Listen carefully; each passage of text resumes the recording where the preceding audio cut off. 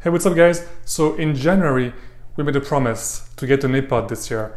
Uh, sadly, we only have like two months left now and every time we attempt one, it fails, so um, it's kind of stressful. But anyway, two nights ago, I went uh, on a two-hour drive to uh, Alamo, Nevada, which is north from here, and uh, it is a Bortle 2 zone. So my main goal was to image the Shark Nebula, and in this video, I'm going to explain to you really quick uh, how it went. So I spent all night there uh, imaging the Shark Nebula, but I also took a second rig at the same time. But in the end, uh, the Shark Nebula, which you will see very soon, was uh, probably the most difficult target I ever had to image and process. It was really, really hard.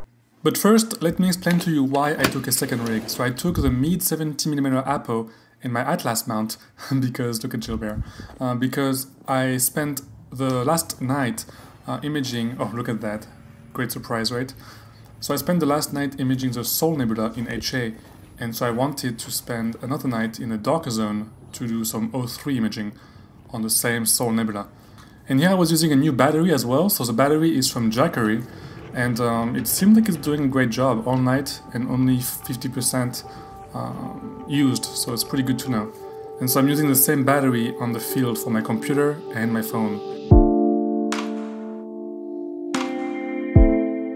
Alright, so I need to find a way to put this mess into the car without breaking anything. So I'm going to attempt to put it in the car. The, the, the problem is the car is already full with all my stuff. I'm taking two rigs tonight, so um, cannot put it anywhere here. And I'm wondering if I could put it in the front here, just like that maybe. Uh, it's kind of scary, but it's gonna have to do, right? All right. In the trunk here, we have so much stuff. Two rigs. And uh, yep, here we are on the road for two hours. So the area around Alamo is really pretty. It's much different than uh, Las Vegas. There is more greens and stuff. It's just really pretty. So here I am screwing in my uh, QHY 600C, which actually came with a telescope from Mark, so it's also a loaner. So it's attached to the Moonlite focuser, which is amazing. And look at how massive it is.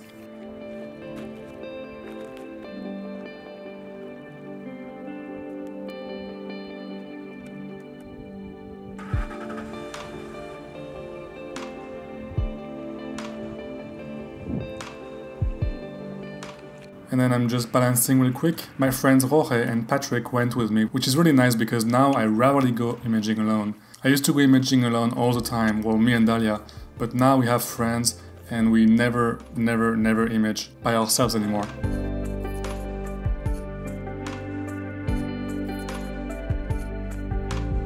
And here's a full rig, so here's a main uh, rig SVX 130 with the uh, QHY 600C on the Mighty mount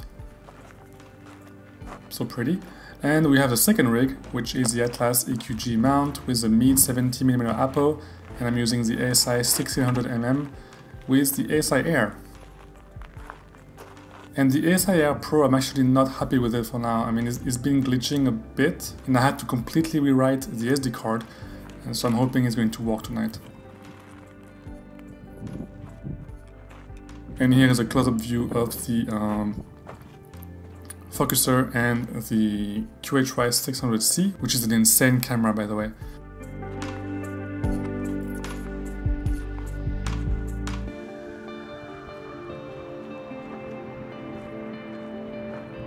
So I brought the Jackery battery, which is super light, um, to power up my laptop and my phone, but I'm also using it this time to, um, to blow the inflatable mattress I brought so I could finally sleep in the car for once.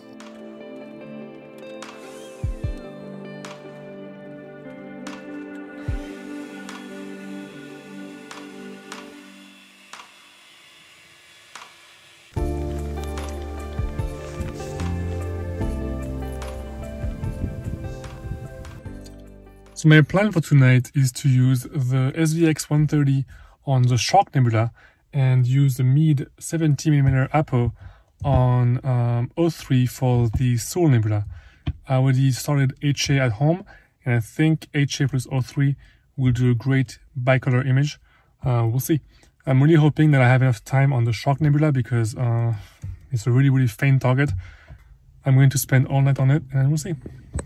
And yes, for the first time in my life, I had a good sleep in the car. Amazing. Anyway, so the night was really nice. Uh, here is a single shot of the, the Shark Nebula. I chose to do a 10 minute shot, so each shot was 10 minutes long. And as you can see, you can almost see nothing, it's just stars and just darkness, so you can't really see anything. And the Milky Way was setting, um, and I had a really nice view from the car as I was falling asleep.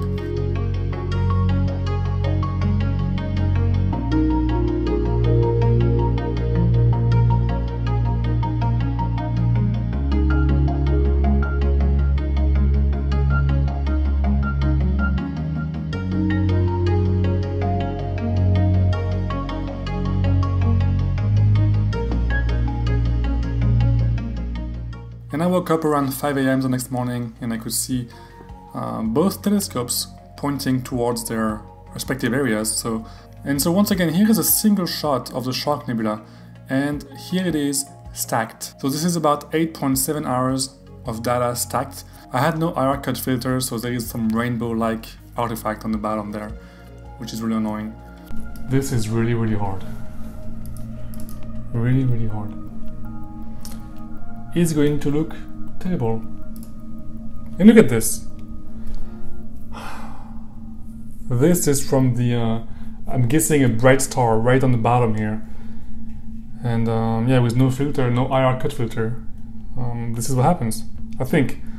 So this rainbow here, I'm sure I will not be able to take it out. So um, we're going to have to deal with it for now. Oh, and by the way, for the second rig, um, somehow the ASI Air stopped after like 11 shots, like it just froze.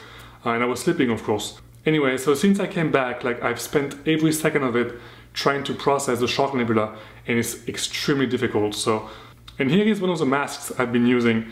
It's like super pretty, and you can really see like the, the shark shape, right? Uh, even with a fin almost. But anyway, so here is the final result of the Shark Nebula. This is 8.7 hours or so with the SVX 130 and the QHY 600C doing 600 second exposures, so 10 minutes long for each. And um, yeah, so I'm pretty happy overall, just knowing it's only one night worth because I'm pretty sure for a dark nebula like this, you really want to spend several nights on it. Um, so I suggest if you plan to image a dark nebula like this one, try your best to go to a very, very dark site and spend several nights on it. So maybe do like, I don't know, like a camping trip, for example, where you do uh, three nights in a row on the same target because those dark nebulae really are a pain to process. So I might decide to spend another night on it, I'm not really sure. Um, I'm not sure because if I do, um, I'm gonna have to deal with uh, maybe another rainbow uh, artifact and maybe also I'm gonna have to deal with um, some back focus issues. But anyway um, so I'll see you guys next time and uh, yep see ya